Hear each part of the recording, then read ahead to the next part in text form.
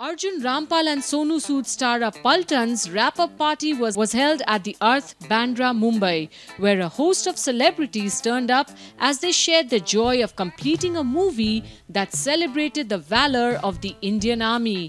Monica Gill, Harshvardhan Rane, Gurmeet Chaudhary, Jackie Shroff, Pooja Bhatt, Luv Sinha, J.P. Dutta, Sonu Sood, Anu Malik were all present and they posed for Shutterbugs too before they enjoyed the wrap-up party.